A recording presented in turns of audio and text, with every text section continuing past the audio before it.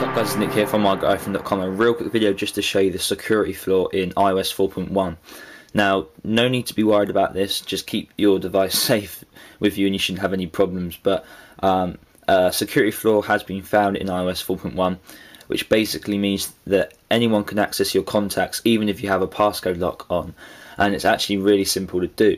Um, so probably Apple will release a update to the firmware, so probably in iOS 4.1.1 or iOS 4.2 early. I'm not too sure on that one, um, but they will probably release an update. So make sure you have your SHSH blob saved if you want to keep your jailbreak, and especially if you want to keep an untethered jailbreak, because there are rumours that this means that they won't be able to have an untethered jailbreak.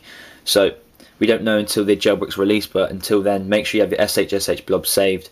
Um, I have a video in the description showing you how to do that on both Windows and Mac. So let me just show you the security flaw real quick, just in case you want to try it to see if it actually there is there for you. Now I believe it's only on the iPhone 4, as you can see I have the iPhone 4 here. Uh, maybe on the iPhone 3GS and 3G as well, but it has to be running iOS 4.1 for this to work. Um, apparently someone running iOS 4.2 beta it didn't work so obviously Apple have already patched it. So basically you just go to the emergency call tab so you slide to unlock you bring up your passcode log emergency call and you type in this dash thing down here three times.